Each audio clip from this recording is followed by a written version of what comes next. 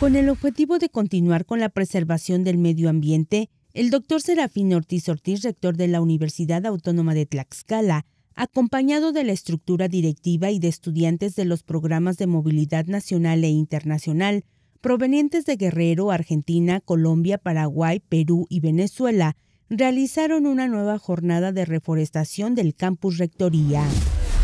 La Universidad Autónoma de Tlaxcala, como formadora de miles de profesionistas, avanza en la configuración de trayectorias de vida de los jóvenes que desean cursar programas educativos de nivel superior. En este sentido, con base en la convocatoria de ingreso al ciclo otoño 2023, continúa avante el proceso de admisión a esta casa de estudios, por lo que el próximo 23 de mayo se realizará la entrega de fichas, con lo que les dará la posibilidad a los aspirantes de presentar el examen de admisión.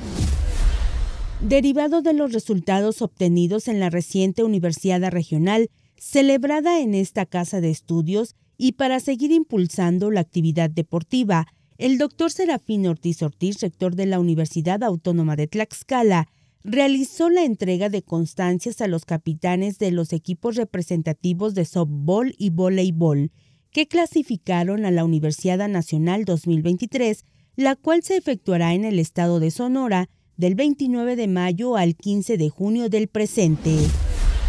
La Federación de Estudiantes de la Universidad Autónoma de Tlaxcala realizó la primera Expo Emprendedores 2023, celebrada en la Plaza de la Autonomía, la cual busca fomentar esta actividad, visibilizar, promocionar y comercializar productos elaborados por los jóvenes emprendedores.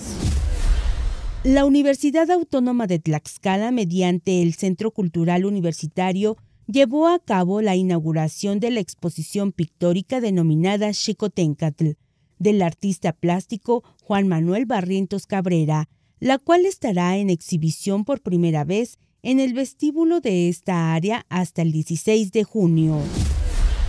En concordancia con las políticas educativas federales que buscan incrementar la posibilidad de que más jóvenes realicen estudios del nivel superior, la Universidad Autónoma de Tlaxcala incrementó su oferta para la presente convocatoria de ingreso al ciclo otoño 2023, al pasar de 41 a 45 licenciaturas, a fin de responder a las problemáticas sociales actuales a escala estatal, nacional e internacional.